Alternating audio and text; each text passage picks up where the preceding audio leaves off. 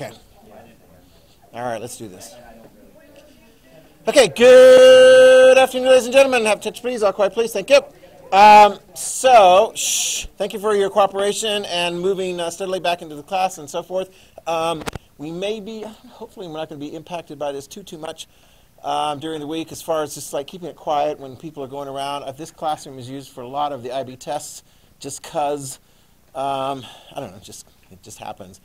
And it'll be used in the morning. So tomorrow morning, what do you guys have first period?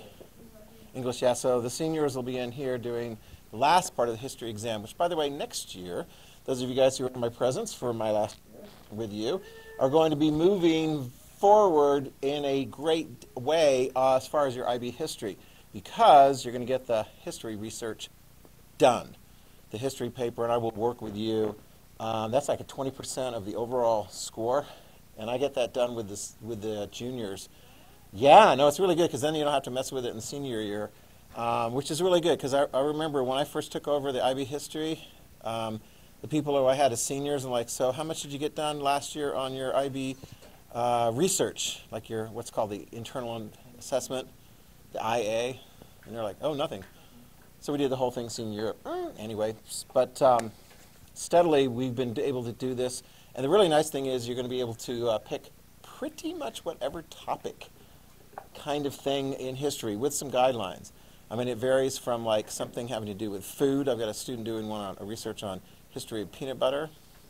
Um, some people are doing like some of the things we do a lot of in class, which is war, war, war. There's other kinds of cultural kinds of things and so forth. But anyway, we'll talk more about that next year with those of you guys in my presence when we start next year, which starts, I don't know, week after we finish. Just kidding, no. We're going to be it starts in late August. We're going to be on the same schedule as elementary, so yes, we will be having our first semester exams after Christmas. But hey, whatevs. At least we'll like have a fairly decent summer break, which starts at what, like noon on June 10th? yeah, I think that's a half day for exams. And in fact, I think I see you guys I think about last time I'll have you guys will be on June 7th because we'll have, I have a feeling, the afternoon exams. And then after that, on the last two days of school, it'll be like half days. Does that make sense? Okay, so what we're doing in here is we have next, have your notes out, equal protection. Woof! You think the First Amendment has a lot of controversy and so forth involved? Equal protection. This is huge. This is a huge one. Okay? You ready? Write it down. 14th Amendment. In fact, have open your packets right to the bottom. We're going to be talking about this 14th Amendment, equal protection.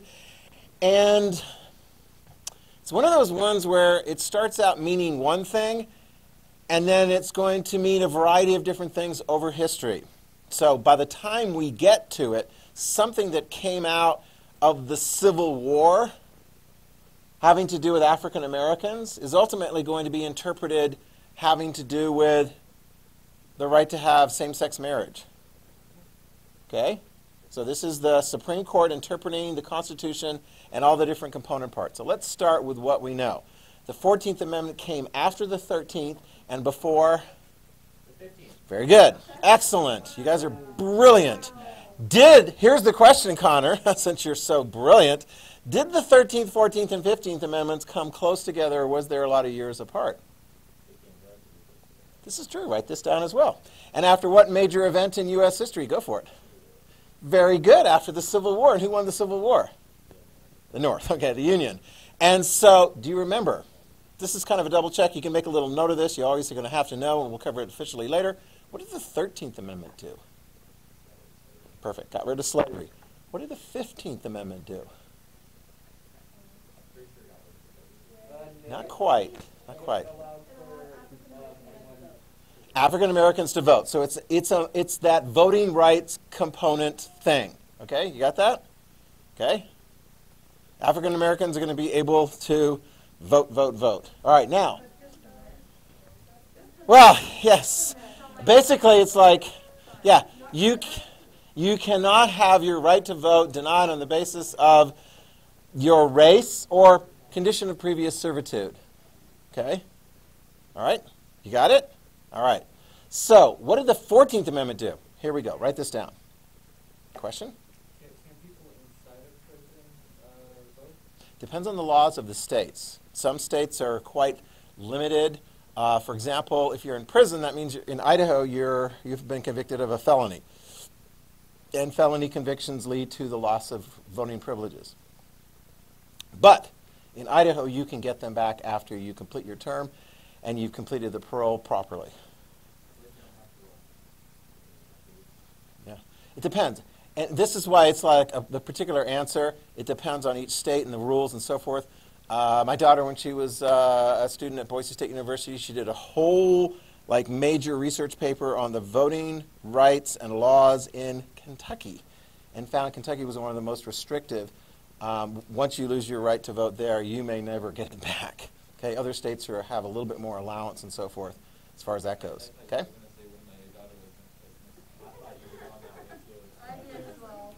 No, wrong. Yeah. Yeah, no, she did some research. Hello, hello. We did research. So, are you guys ready? All right, now, here we go. Okay, are you guys focused? Some of you guys have got like a little, uh, like something tickling your fancy and so forth. All right, ready? Anna, are you okay? Hold it together. Don't look at her. Don't look at her. Don't look at her. Yeah, just every time I get this, like, you know, things, something's like really hilarious, I'm like, I'm, it's not me. Are you okay? All right, here we go. So write this down about the 14th Amendment. Okay.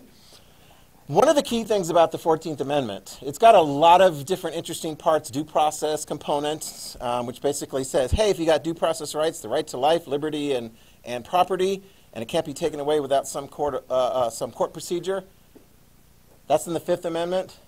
That says the federal government can't take it away. 14th Amendment says the state governments can't take it away either. But that's only one part of the 14th Amendment. What I want you to focus on is the equal protection of the laws. Write this down. This is what we're going to be focusing on. No one shall be denied, no citizen of the United States shall be denied the equal protection of the law by a state. So this is the 14th Amendment is interesting. It's one of the first times in the Constitution you have state governments don't even think about doing this. Because previously it was all like, the United States government can't do this, Congress can't do this, the federal government can't do this. But now specifically they're saying states, don't mess around with this. If you're a U.S. citizen and you're in, living in a state, states cannot treat you unequally. It's actually not that hard to figure out kind of what was going on there, right? Were southern states, the Confederate states, were they treating people unequally before the Civil War? Yes. I mean, hello, yeah. I mean, if you're African American, more, more than likely you were enslaved in the Deep South. Were the slaves freed voluntarily by the South, as in, like, oh, wow, that's a wrong thing to do. We should just, like, get rid of slavery? No, no it was as a result of a war. Okay, so the war's over. Slaves are no longer slaves. African Americans have the right to vote. And make sure you put this down. The southern states, in a sense, are put on notice. Don't try to bring all that nonsense back. Do you understand? Don't try to bring it all back.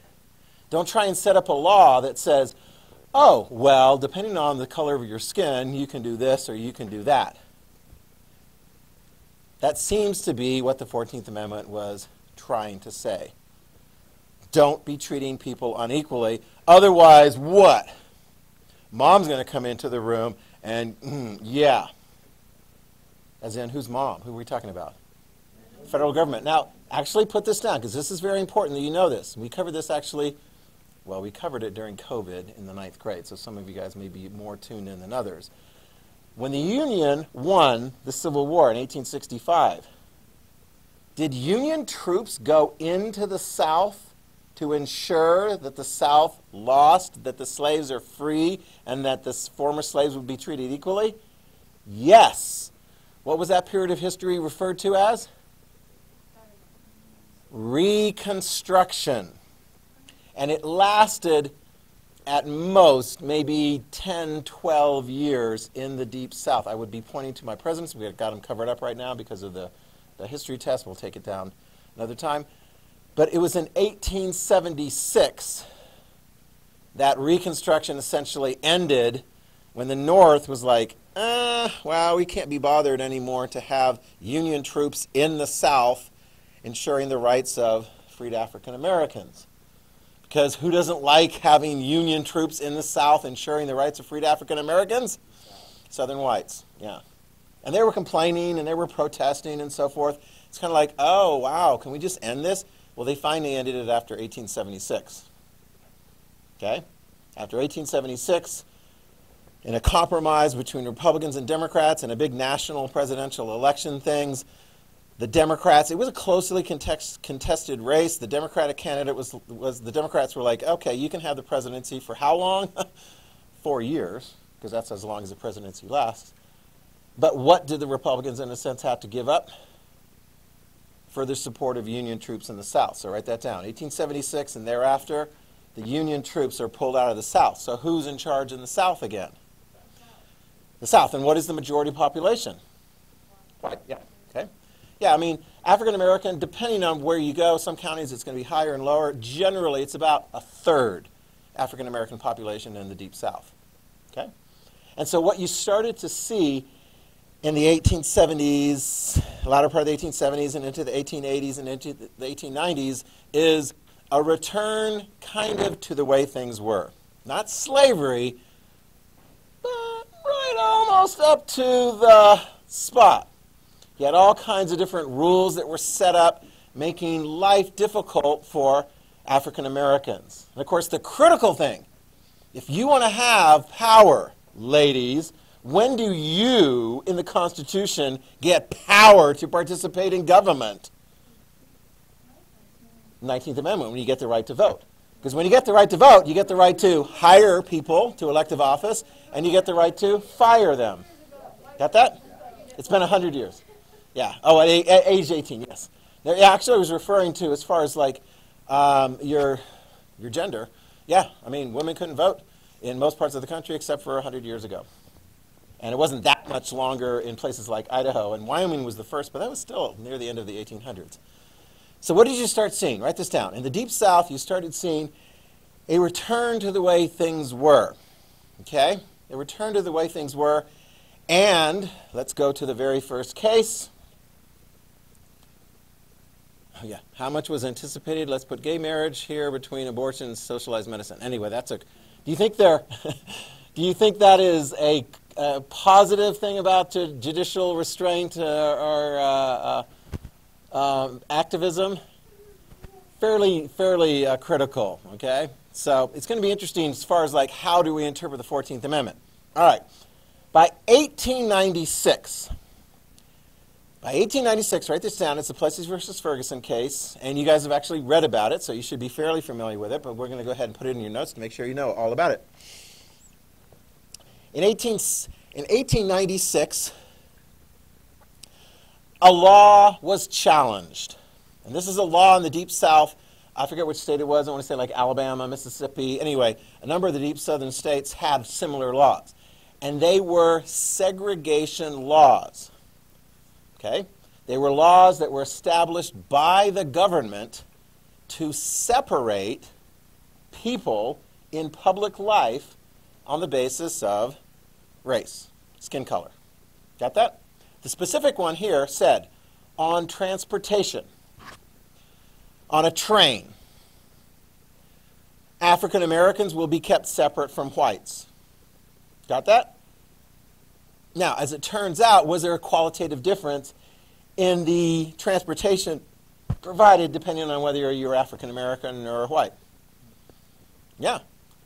Okay. Yeah. I mean, you could ostensibly pay more and sit in first class. Well, the first class section was only available to whites.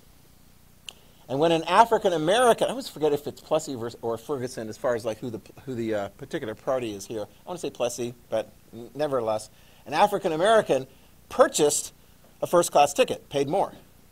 He wanted to sit in the first class accommodations. Well, that was a violation of the law of that state told, well, there must have been some mistake and you should have never been sold this ticket. Nevertheless, since you're sold this ticket, you need to get out of this section of the train and go sit in the segregated all African American part of the train. Do you understand that? And he objected to that. He objected and says that is a violation of the 14th Amendment.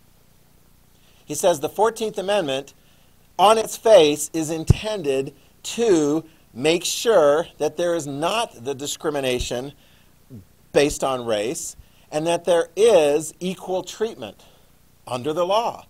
And this is not equal treatment under the law. Arguably, this guy probably is pretty darn close in his argument to meeting the intent of the amendment as it was created. I mean, would he have much of an argument for the people who like got that into the Constitution?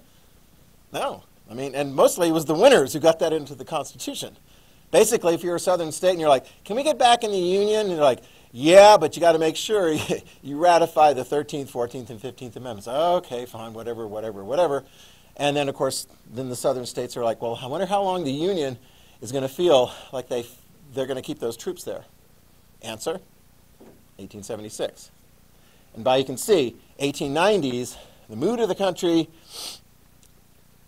was quite different. Question. Plessy was African American. Thank you. I always think it was Plessy. And Ferguson must have been like the government official that got sued on behalf. Very well. Yeah. I mean, it could be, yeah. In any event, what's at stake here then is how is the court going to interpret the 14th Amendment? Are they going to interpret it pretty closely to kind of like how it was put into the Constitution? Turns out, no. Write this down. No. Heck no. The Supreme Court, all men, all white, not that that necessarily makes a difference, but perhaps, who knows. These guys were feeling the, uh, that the opinion of the country was such that, you know what, um, we're not going to rock the boat. If that's what they want to do in the South, then that's what they're going to do in the South, and we're not going to really change it. So, what they did is they came up with this legal way of dealing with the 14th Amendment. They called it separate but equal. Separate but equal. So, if a state wants to separate whites and blacks, because that's just what happens naturally in the society, they just sort of separate themselves. Have you ever seen that? Like if you take out a like a bunch of M and M's, have you ever noticed they start to gather into little like orange ones and green ones and stuff? Okay. Yeah, so I mean, it's already happening. So if it's no problem, it's no problem, said the Supreme Court in the Plessy versus Ferguson case, 1896, that if the state is already officially, as law, does what is already taking place, then that's okay, as long as they're equal. Now, here is where things get a little bit interesting. Because sometimes you have to sort of tease the argument a little bit to like equal. All right, so for example, is there equality in, raise your, let's, I'll, I'll challenge you, raise your hand if you can tell me, what equality is there in a part of the train where blacks are and a part of the train where whites are? Go for it. Anybody want to give it a challenge? Go for it. They both get a place to sit. Anything else? Come on, build up the argument. Because, I mean, we could throw in here, like, really? They both get a place to sit? Really? Are they really equal as far as they both get a place to sit? Not really. No, there is, there is a qualitative difference as far as, like, some of the seats. Because, for example, here, if you want a nice place to sit and you're willing to pay for a first class ticket, those seats are not available for African Americans, even ones that have the wherewithal and want to pay for a first class ticket. But what else? Victor, I'm not going to let you off the hook. What is equal about that train with the whites and blacks? There you go. They're leaving from the same destination at the same time and arriving at the same time. Wow, that's an equivalence. Good enough for the court. Got that? So the court is not willing to rock the boat. They're being very cautious, and arguably, they're not really following the intent of the way the 14th Amendment was written. But then again, this is like, what, almost 30 years after the Civil War? A lot of people are like, oh my gosh, can we just like put that past us and so forth? This is the time period in history where um, in the South, there is a lot of sort of like I don't know, looking back on that period of time and going, you know, these are great people and these were our great Civil War heroes. A lot of the monuments, for example, that were constructed after the Civil War to uh, Confederate generals and so forth were built beginning during that time period. Okay? So it's kind of a way of saying, all right, yeah, we lost the Civil War, but hey, we're going to put some of the things back and we're going to honor those people who were fighting for the cause, the lost cause, and so forth. Okay? Do you got that? Now, if that is precedent, if that is the Supreme Court interpretation of the Constitution, what's going to happen? Write this down, and I'm not going to give you the name of the case, but I want to say it, it takes place very, very quickly. When somebody comes in to the Supreme Court and says, hey, they're separating black and white kids in the public schools. No, that's going to be later. That's going to be in the 1950s. But it's the same kind of case.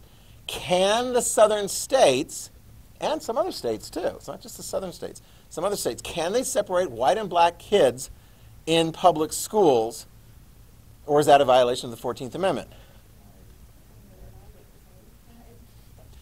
Does a separation on a train, is that like a separation in public schools? Well, guess what the Supreme Court says? Yes, so write that down. So the public schools, following precedent of the Plessy versus Ferguson case, they are separating the kids uh, in the public school settings. Now, this is where it gets a little bit problematic because, in fact, you know, you can be like, well, they're equal, separate but equal. In fact, if you looked at the spending for the African American schools in the Deep South versus the schools that were attended just by the whites, there is a qualitative difference in the amount of money being spent. Do you understand that? Teachers getting paid better in which schools? Textbooks being replaced more regularly in which schools? In fact, they actually would have textbooks that would go to the white schools, and after they got like, so they're all kind of bad and cruddy and so forth, then they get shipped over to the uh, black schools. Okay, transportation provided for. Sometimes you just have a bus going for the going to the white schools, and the black kids would have to uh, find their own transportation, typically walking. Heating, other kinds of things. A lot of qualitative differences. Okay? Now here's what you need to know. Because, let's see if I'm ready for this next one. Yeah, here we go. Segregated public schools for blacks. Look at that. What a qualitative difference. No, you got like one room, and there's, there's the source of heat, and they've got you know books on their laps and so forth. I mean, not to say that the white schools are that much better, but they are better qualitatively. Okay. Now this is where, throughout the 1900s, this is where it's kind of like if you see something not coming your way eh, as far as the Supreme Court, you keep on working it. Here we go. Write this down. The NAACP, NAACP, National Association for the Advancement of Colored Persons, I think is how it's referred to now. Okay, NAACP. It is a civil rights group that's been around for a long time. Okay, and it, uh, one of the things they spend a lot of time doing is fighting court cases. Okay, the NAACP, and they would continually bring court cases up year after year after year after year, putting pressure on the southern states, trying to win over the Supreme Court, right? Is that a big is that a big win? If you can get the Supreme Court on your side as far as interpreting the Constitution, is that a big deal? Heck yeah, because federal government and who gets the final word on what's in the Constitution? Supreme Court. Although the people could amend the Constitution, but it's very, very problematic. By 1954, there was a series of cases coming up. Um, and the Supreme Court had undergone some changes. This is right on the cusp of the Supreme Court becoming more involved, more activist. Although, arguably, when you get this decision, some people could say, hey, their decision is to really interpret the 14th Amendment as it was really written back in the day. But anyway, we'll look at this decision. One of the things was interesting.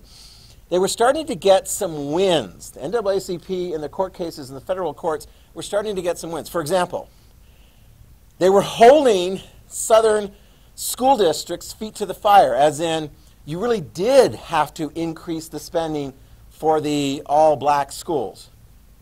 if you're going to say separate but equal, you really did have to prove that equality as far as spending. You understand? Okay? Was that the goal of the attorneys at the NAACP?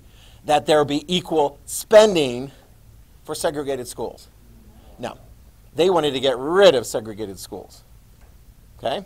They wanted there to be no way that a state could say we're going to separate whites and blacks on the basis of, and whites and black children on the basis of their skin color in a public school setting.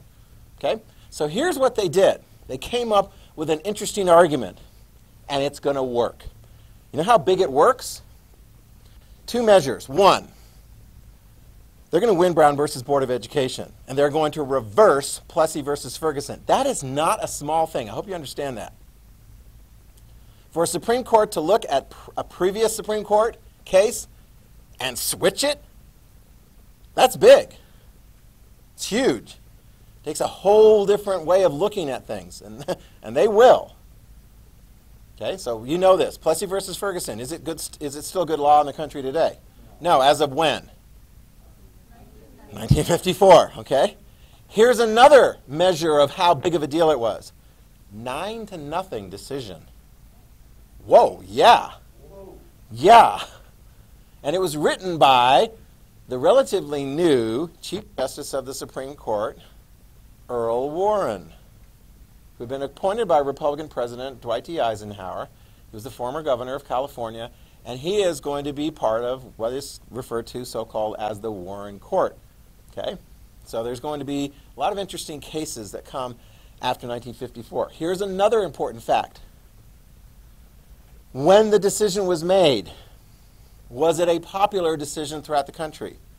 No. You can write that down. In the Deep South, it was a very unpopular decision among many white voters.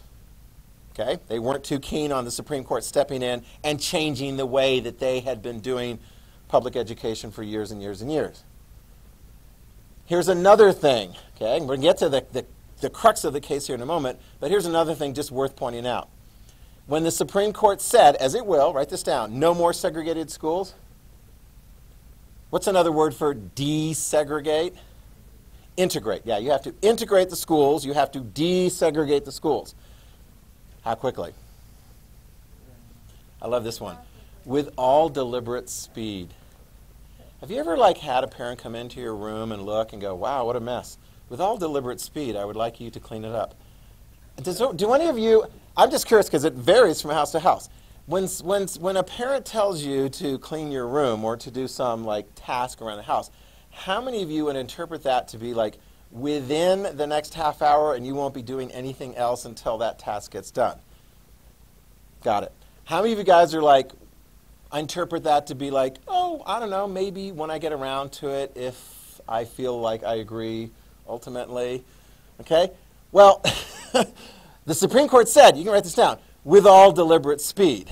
They need to, the, segregate, the schools that had segregation had to get rid of that.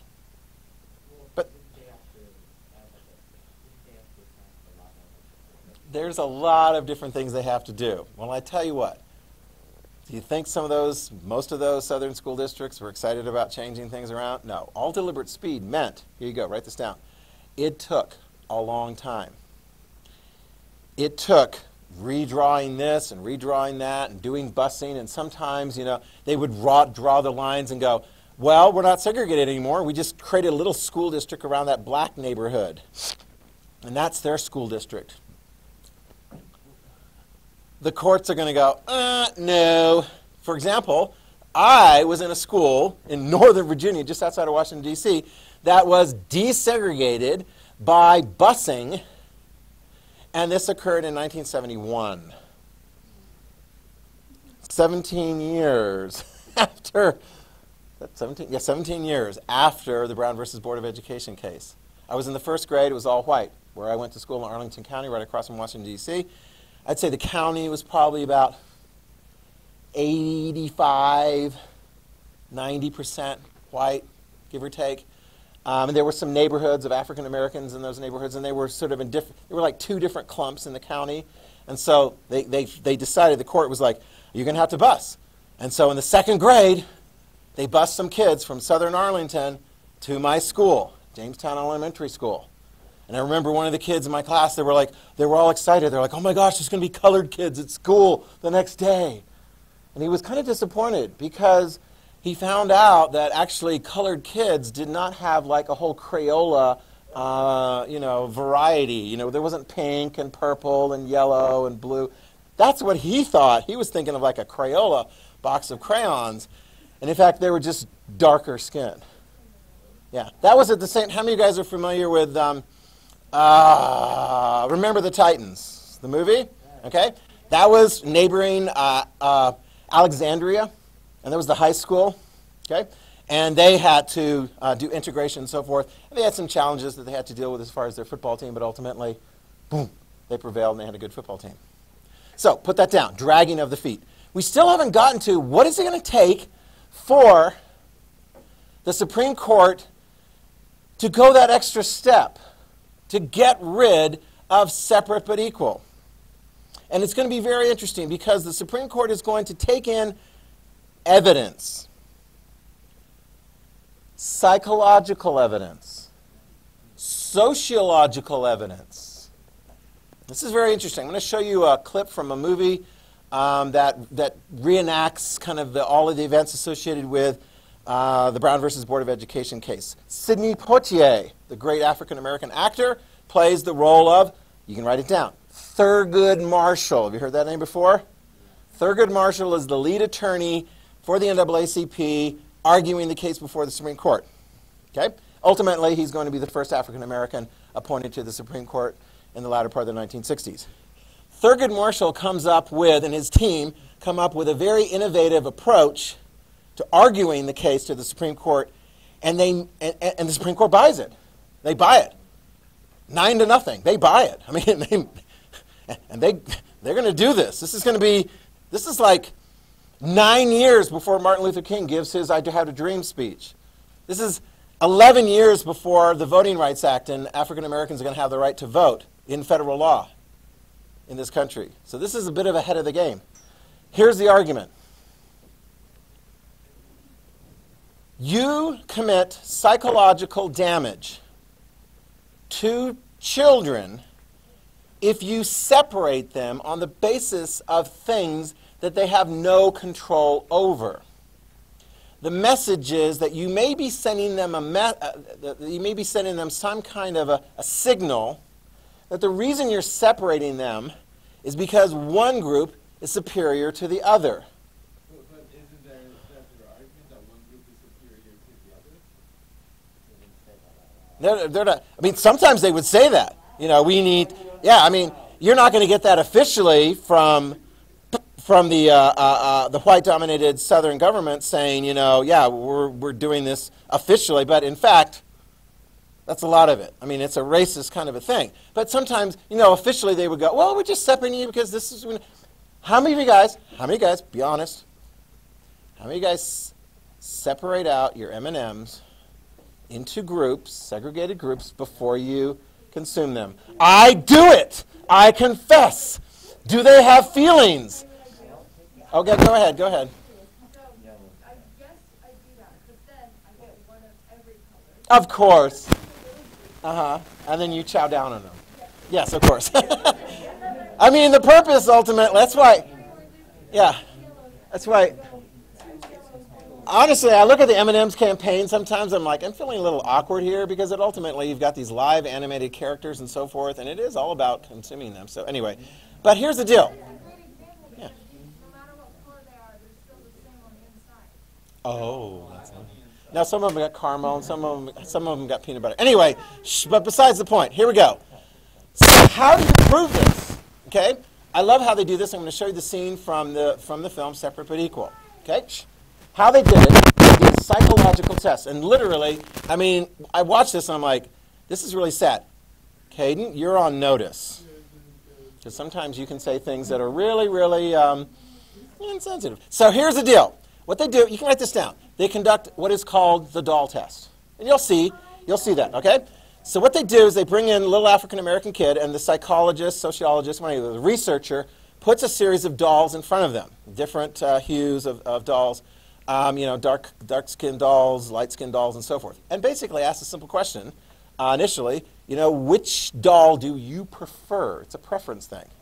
Which doll do you prefer? And you would think, perhaps, that African American children might prefer the darker skinned doll because it's closer, perhaps, to their skin color. But what they found consistently was write this down the African American kids were choosing the white dolls, a, a fairly high percentage. And then when you had the follow up question, the follow up question as to why are you choosing this one? Okay? Or can you attribute certain characteristics to the dolls, like pretty, smart? They were attributing pretty and smart to white dolls. They were attributing naughty and ugly to the black dolls. And in fact, one of the kids, even in the thing, uses the N word to describe the, th- the thing. The Supreme Court actually was taken with this psychological, sociological evidence as it was presented that the damage being done to African American kids with the separated schools was too great, and that therefore there was no justification in continuing to do this as an official government action, and then therefore it violated the 14th Amendment. Do you got that? Okay? I'm going to show you the clip from Separate but Equal with Sidney Poitier, and then we'll talk about it a little bit more. Here we go. Yeah, thank you. So this would be like 19, early 1950s. put it in the brief, each side to hold our feet to the fire. Sometimes history takes matters into its own hands. In the Chinese language, the symbol for misfortune is the same as the symbol for opportunity. This makes us our opportunity. How could we prove that segregation is unfair to our time? Harold, what would you do if a car runs into a sign? I try to see damage from that sign somehow. I put expert. Expert witnesses. Facts on how much damage is done. Stop, police, all that kind of, whatever. That's what we have to do. Show that our clients are irreparably damaged by being forced to attend these dog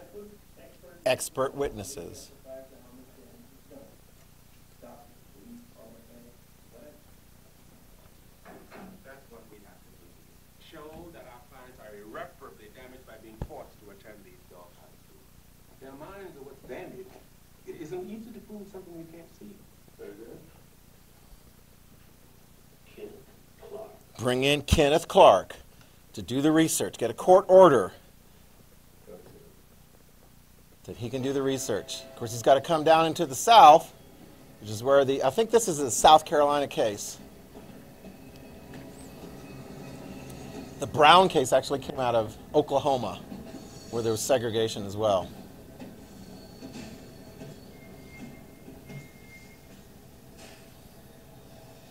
Hello, Kenneth.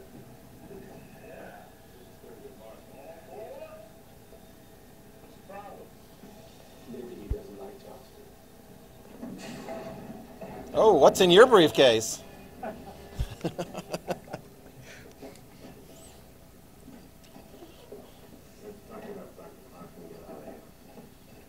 Yeah, there's like ever present intimidation going on, officially and unofficially.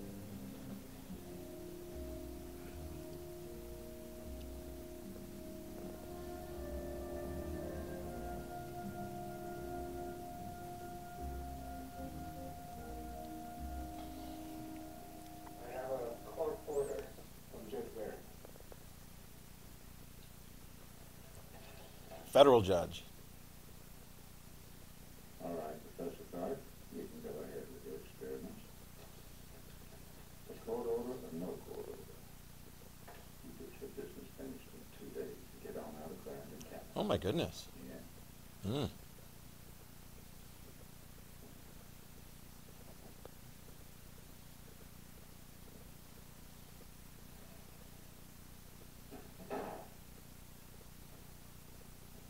Hello, Vern. Sit down.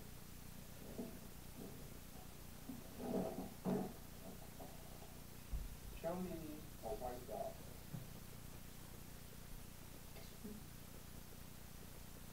show me a colored doll.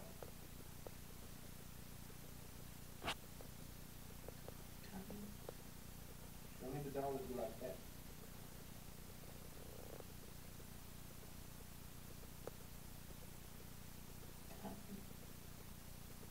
So which doll is most like you?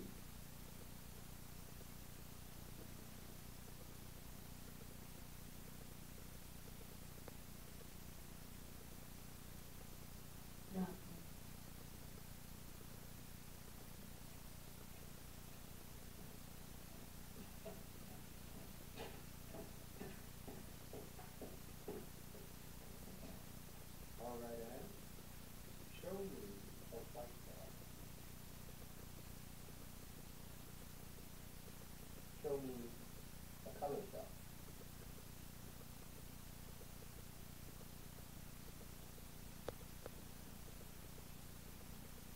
Me the doll that has a nice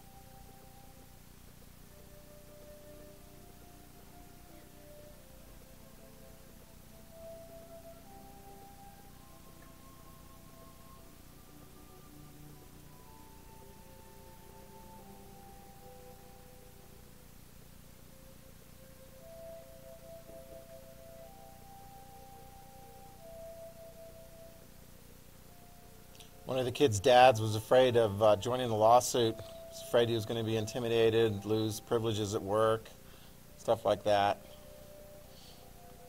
Maybe lose his job. Here's the dad coming in the room.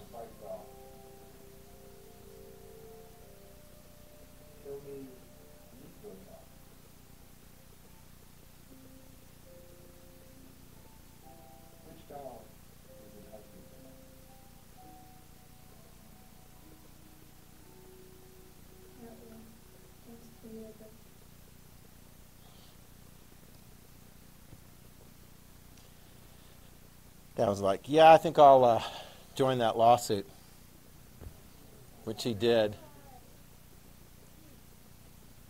Yeah, yeah, there he is, Thurgood Marshall, right there in the middle as part of his legal team that won the case, and of course, deliber- all deliberate speed.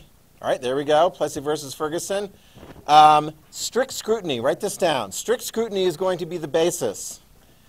If the government wants to, this is going to be an interpretation of the 14th Amendment. As we go through 14th Amendment cases, we're going to see three different scrutiny tests that the Supreme Court will use on different kinds of discrimination.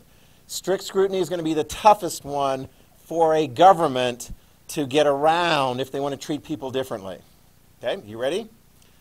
For strict scrutiny, the government is going to have to show you have to have a compelling government interest in order to treat people differently.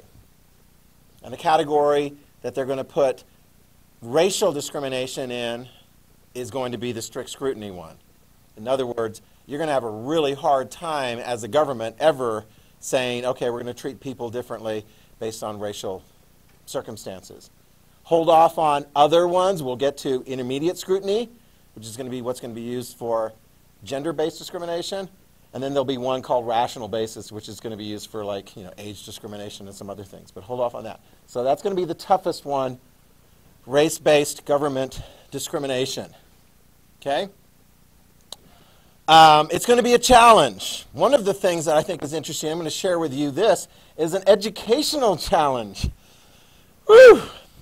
There was a teacher in the early 1960s, I want to say somewhere in the Midwest, um, in a pretty much homogenous, mostly white uh, community, and she was trying to get through her kids the idea about racial discrimination and discrimination against people who are, you know, Native American and so forth. And like, what would it be like? She conducted a very controversial experiment over the course of two days. And she had it filmed. You're going to watch some of the filming of this. In fact, you'll see some of it where they're grown up and they're looking at the filming of it and they're kind of laughing, you know, how they were when they were little kids. What she does is she says, okay, I'm trying to get a sense across to you what discrimination is like and how that would feel and what it would go through to actually be treated like you are inferior based on something that you have no control over. And this was the blue, brown eyes, blue eyes experiment. Presumably, I don't know. I always wonder, is like, are there any green-eyed kids in that group and so forth? But presumably, at least in her small uh, class of fourth, fifth graders, I forget, um, they all got either brown or, or blue. So what she says to them is, she creates like this fake um, scientific information, which all all that she needs is to just say it, and the kids buy into it. I mean, sometimes she just sort of says like, well, let's, what would it be like if? And they just buy into it. What would it be like if brown-eyed kids were inferior? They're troublesome. They don't do well in, in work. Uh, they're naughty. And we need to treat them separately. They need to not have as much freedom at recess. They need to have all kinds of various different things, right? Whereas the blue-eyed kids are superior. I mean, like, who would ever come up with that, Hitler? Um, who would ever imagine, like, that there's one, you know, like, the characteristic? is. Do you guys have any opinion on, on who's more clever, better, superior as far as eye color? I'm looking around. You are? Whatever color your eyes. You're like, whatever I am. And get this. I mean, this is where it really starts to be like, because, I mean, when Hitler did this in the 1930s to make sure that people would like separate out from, uh, uh, from Jewish uh, people living in the community before he ultimately rounded them up and killed as many as he could. What they would have to do is they would have to wear identifying tags. The Star of David in Germany. Here, she said, okay, those of you guys who have whatever the suspect group is, you have to wear these collars so that everyone can see. You know, they don't have to go look up right close to see whether you got brown or blue eyes. You have to wear these collars. You understand that? And so that's what they did they practiced discrimination on each other, and it went south very fast. What would happen to the kids just in a short period of time if they're told that they're dumb, that they're not quality, that they're poorly behaved, and so forth? That's how they're going to act. And they act up, and they don't perform as well on these academic tests and so forth. And friendships like start severing. Of course, the next day, you know what she does? She flips it. Yeah, and I mean, she can throw in sort of like, well, you know, actually, you know, maybe I read this wrong or whatever, you know, had it all flipped around. And of course, the kids that were in the collar that were being treated as the second class citizens, they're like, huh, this is going to be fun. We got to be on top this time. You got that? Pretty sure she just said that she liked them because she had the original. Oh, yeah, maybe. That would buy into it. Yeah. Yeah. Yeah. So, I mean, can you imagine? We're not going to try this. I think you would have to get you know, like so much permission. But they did it then, and here's what you got. Those kids actually did gain a real appreciation of it sucks to be told that you suck on the basis of something you have no control over. I'll show you a clip here from the Brown Eyes, Blue Eyes uh, documentary film. Here we go. And the subtitles are in Turkish. So it was the only one I could find.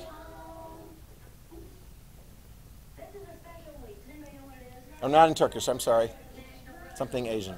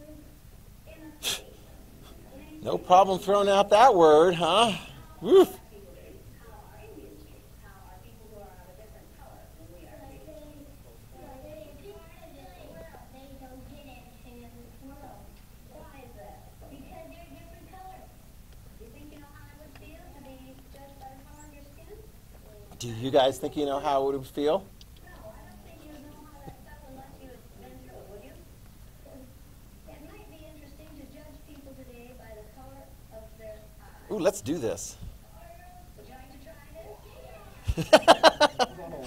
okay, lemmings. let's bully each other. okay, here we go. Shh, shh.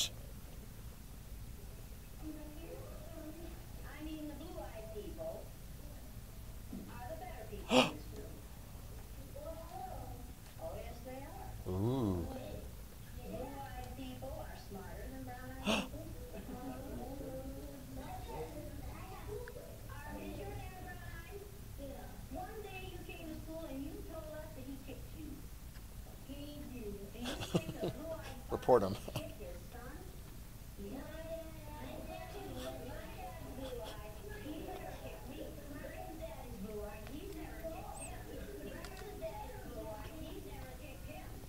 How do you know?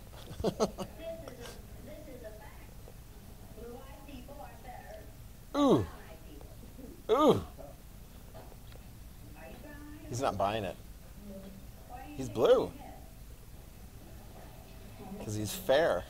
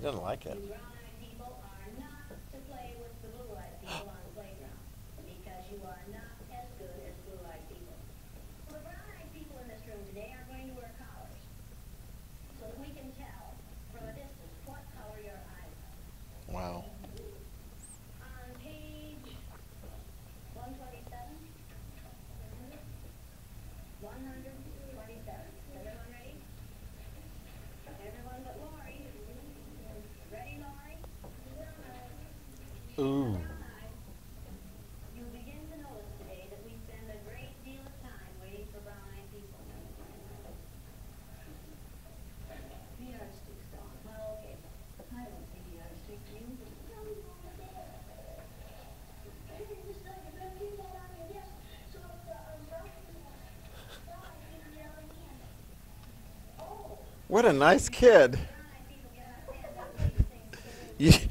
use the yardstick on him.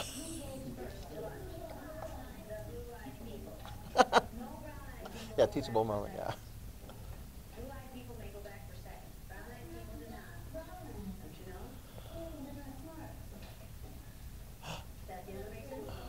She's feeling it. That girl is feeling it.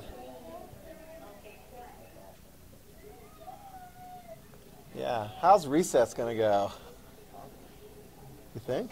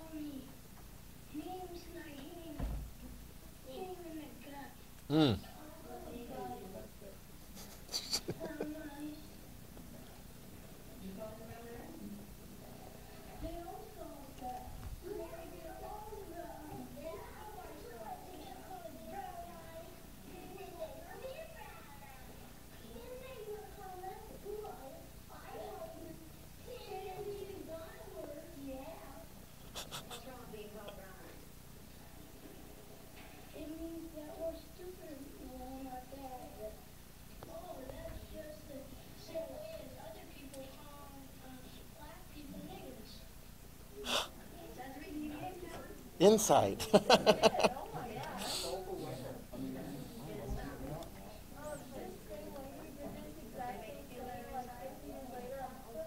Did she really?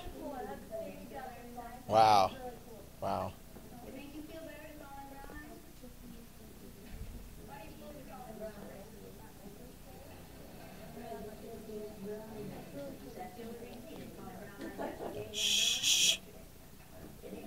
your eyes, whatever color they are, on the screen.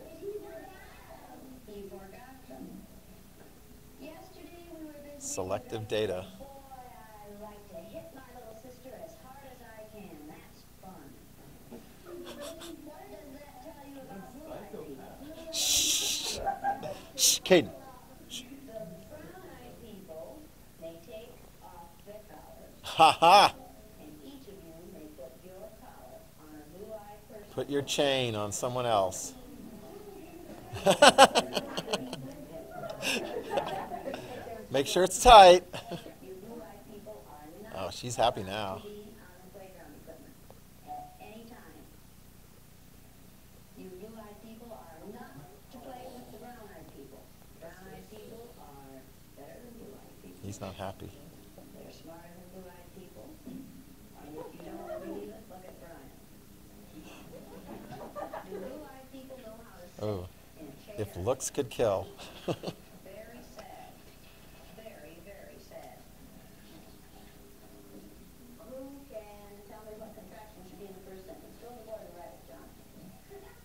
on, let's do it again. Loosen up.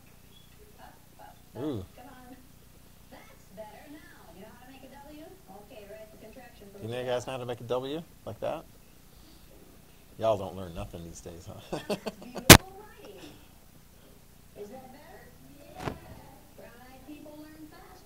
Hmm. Wow. Pile it on.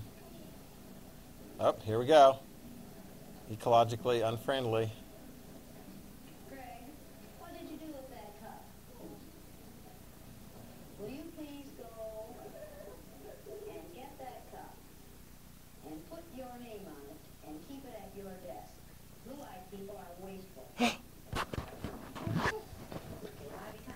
the planet.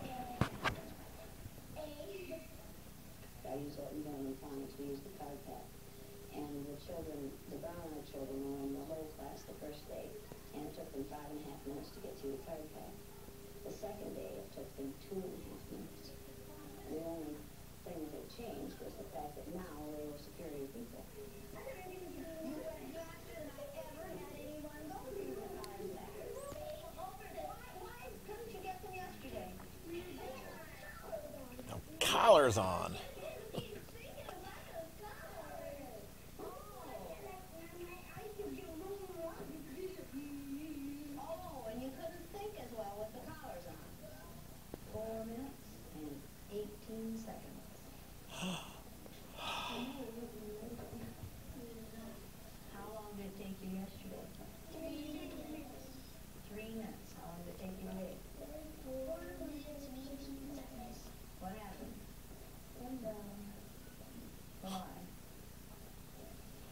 啊